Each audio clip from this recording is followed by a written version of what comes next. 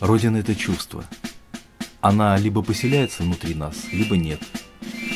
И ты с этой родиной внутри путешествуешь к неминуемой старости по континентам планеты. Если по какой-либо причине ты не можешь вернуться в места своего детства и юношества, то начинаешь рисовать образы и создавать свою эксклюзивную родину вокруг себя, делиться ее с родными и духовно близкими людьми. Если бы в наших сердцах было разное представление о родине, то мы бы не обсуждали этот вопрос. Мы хотим понять, услышать друг от друга, а как она звучит, наша Россия. Родина – это те ценности, которые передаются нам по наследству от отца к сыну.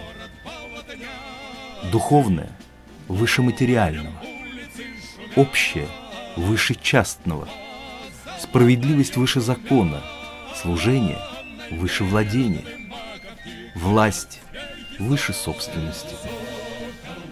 Родина – это наша история, временами оболганная и фальсифицированная. Народ создает историю, рождает через систему воспитания, образования внутри общества пассионарных героев и бесславных иждивенцев.